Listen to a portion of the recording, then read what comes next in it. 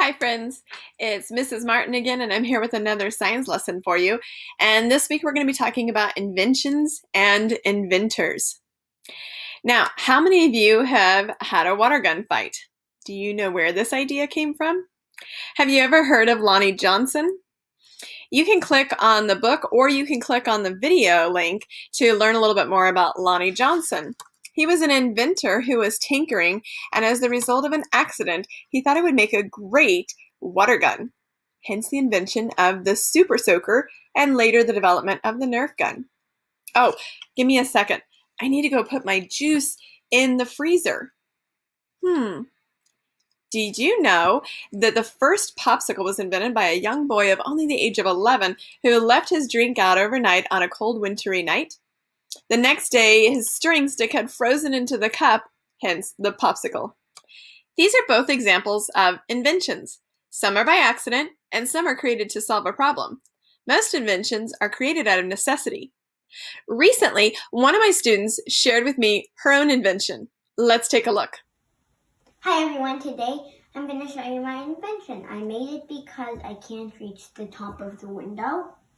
How I made it was I attached the hanger to the hook on the top and I tied the jump rope on. This is how it works. I just pull it down and then the light will shine through and your window would be open. Thanks for watching. Bye.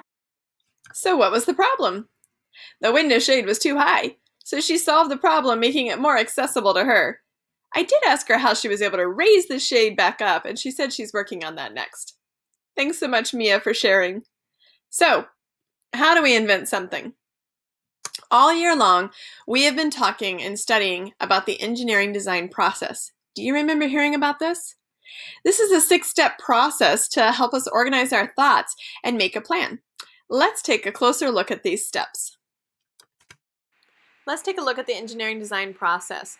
It's normally a five step process ask, imagine, plan, create, and improve with the addition of share. Step 1 Ask What is the problem? How do we start? What do we need? Step 2 Imagine. Brainstorm ideas. Choose the best one. Step 3 Plan. Draw your design. Make a list of the materials you'll need. Step 4 The fun part. Follow your plan, create it, and test it out. Step 5. Improve. What works? What doesn't? What could be better? Change your design and make it better. Now, I did say this is a six step process, and the last most important step is to share your ideas. This is how we learn from one another. Share with your friends, your family, or even the larger community. So, now let's take a look at this process with a problem that my son Eli had. Hey, Eli, can you share with us a problem that you had? Yeah, sure. So I got a new bike, but it was a little too big for me. So uh, when I would stop and stand, it was really uncomfortable. So I found some pool noodles we had, like this one, and uh, my mom helped me cut down the middle, and uh, then uh, we added it to the bar on my bike right here, and I used a couple zip ties to secure it. That's great, Eli. So first you identified the problem, which was the bar was uncomfortable. And then you asked, what can I do to the bar so it doesn't hurt me? So you imagined a solution of padding it somehow. Then you made a plan to use the pool noodle.